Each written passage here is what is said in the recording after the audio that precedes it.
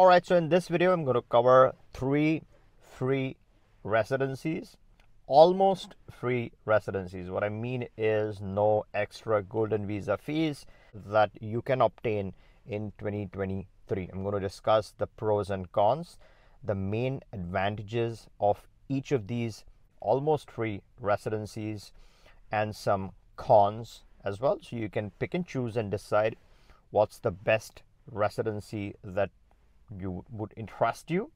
And each of these residencies can then lead to citizenship so that that all important plan b passport a strong passport at the end of these residencies. I'm also going to cover the flexibility that these residencies offer in a lot of detail.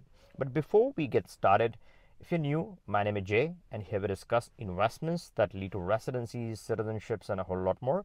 So make sure you are subscribed to my channel and also turn on the bell notification so you are instantly notified the moment there's any change, any new residency, and also my analysis on any of the RCBI options. All right, so the first almost free residency that I'm going to discuss is the residency of Paraguay. Now, Paraguay was initially a PR, a permanent residency directly to begin with. You need not apply for the temporary residence. You could have directly gotten the PR, a lifelong PR, as long as you did all the renewals on time. A too good to be true kind of an option, a hidden gem. A lot of people, a lot of people benefited from this option, got the PR, secured it for their lifetime, and are in a very good position at this point, right? It's always a good thing to have as a plan B. Either it's your plan A or your plan B. It's a great option because it's a territorial tax system. What that means is that if you establish tax residency in Paraguay, then you're only looking at paying taxes uh, on the monies that you earn within Paraguay. It does not have the worldwide or any of the citizenship based taxation hassle. So some people actively use this and some people use this as an option for the future. So in Paraguay now the deal is better, better in terms of the financial aspect for the PR. You had to deposit 5,000 US dollars in your bank account and then you would qualify. But now that they have got rid of the PR, you can directly get the TR, the temporary residency, and this temporary residency can then be easily converted into a permanent residency after two years, right? Uh, assuming you satisfy some conditions. But the criteria for the temporary residency is even simpler. You don't need to deposit the $5,000 in your bank account as long as you have sufficient income to sustain yourself in the country that's all that you need along with a bunch of documents and you can actually obtain this temporary residency for free. If you are interested, you can always reach us and we can get you started. We work with a very good, strong agent in Paraguay who does this day in and day out. So that's the first free residency that you can avail in the Latin.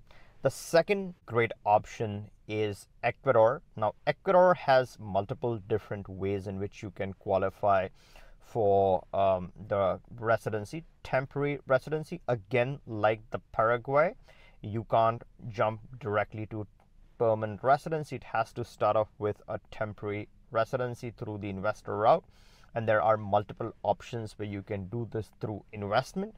The straight, the most common or the well-known route is the 40 3k approximate USD in a bank deposit. You deposit this money in the bank and then you can qualify for the investor route and you can get the temporary residency that way. This is a very flexible temporary residency, meaning you can live there as much as you want or as less as you want. Your temporary residency would stay intact.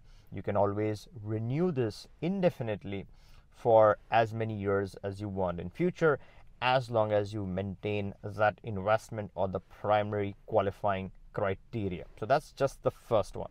The second option is a free option, which is if you have a professional degree, let's say it's a bachelor's degree or a master's degree, it is a professional degree. You got to register this degree in Ecuador, which is the tricky part, right? That's where it takes some time.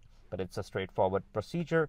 So as long as you have this degree, you register it with them, you can qualify for this TRC in Ecuador. Now, of course, if you want to convert this into a permanent residency after two years, it's a you have that option. There's some residency requirement that you have to qualify, but that is only if you want to get the permanent residency. Again, you've got to be a tax resident on the permanent residency at least for two years once you get the PR to then in the third year qualify for your citizenship, the all important Ecuadorian passport. That's a clear option if you are looking to pursue that all important Ecuadorian citizenship. It's a very strong exotic passport.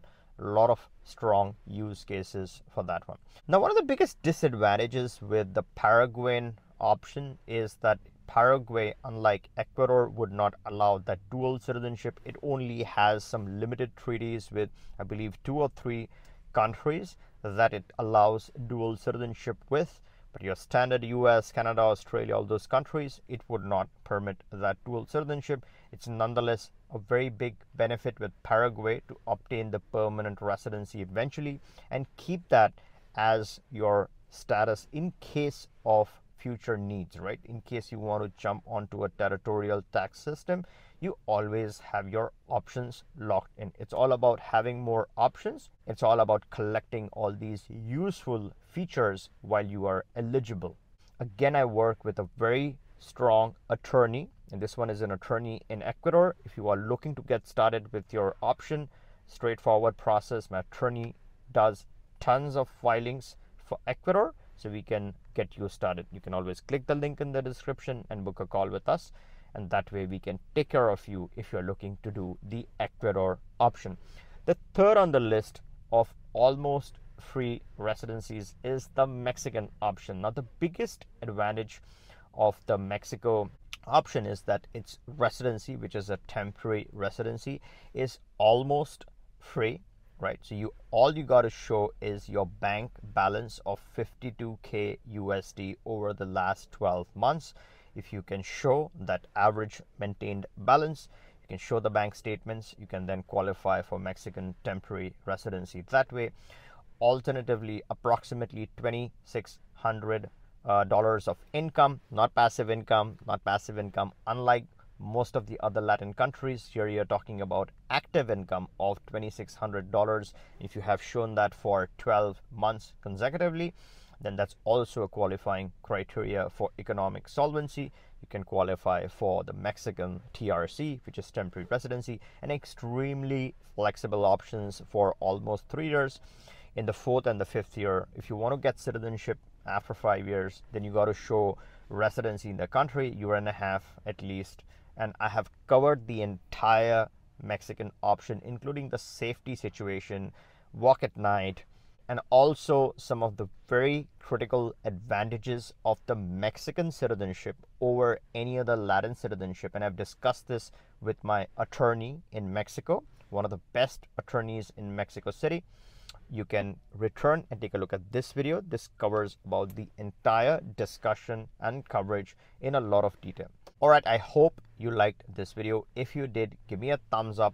Make sure you subscribe to my channel and catch you in the next one.